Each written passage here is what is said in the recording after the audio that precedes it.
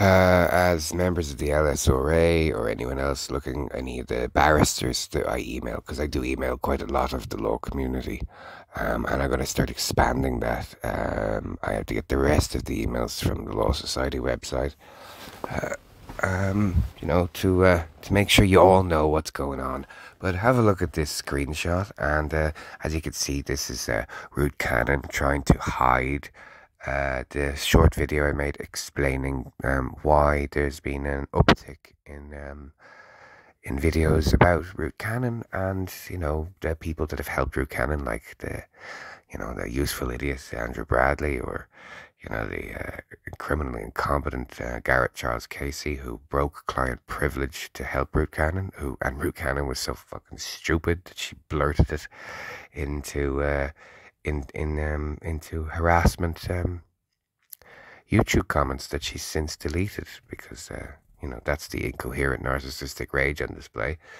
So uh, uh, yeah, you'll find the um, the video that Ruth Cannon is trying to suppress in um, the Odysee link in the description in case anyone hasn't seen it. I'm going to email this out to all of you um, now. So you know, I hope you're all enjoying the show. Uh, today I'm going to be covering Eleanor Carmody's homophobia and um, and general bigotry. Uh, nasty person, Eleanor is. And then I'm going to deal with Norma Salmon, uh, who is um, a corrupt um, barrister. And I have um, that verifiable, and I'm going to detail how I have that verifiable and how Norma Salmon uh, lied on her uh, response to an LSRA complaint.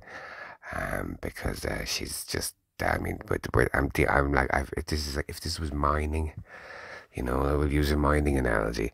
I've hit a deep vein of corrupt, incompetent motherfuckers.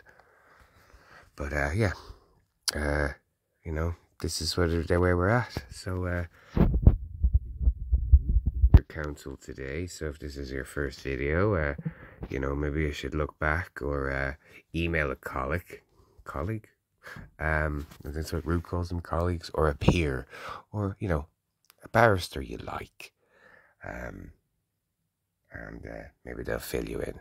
But uh, if you scroll down in the email you have, you'll see um, uh, the backlog of um, of correspondence regarding this. So you'll be able to see just um, some sort of a map of, of, of, of the disgrace that Ruth Cannon and a number of your colleagues like Garrett Charles Casey have brought to, oh, and Norma Salmon and Jennifer Cuff. Oh, what a piece of work is Jennifer Cuff and Norma Salmon because you know that's the funny thing because when as this goes forward it's going to come out that Jennifer Cuff and Norma Salmon collude in the back room to prejudice cases and uh, you know, that I have the evidence of that. Uh, Norma Salmon and Jennifer Cuff colluded to withhold evidence from the court that, so it would favor Jennifer Cuff. And that's even funnier is that I see them go for lunch regularly. Um, and that's how I know them.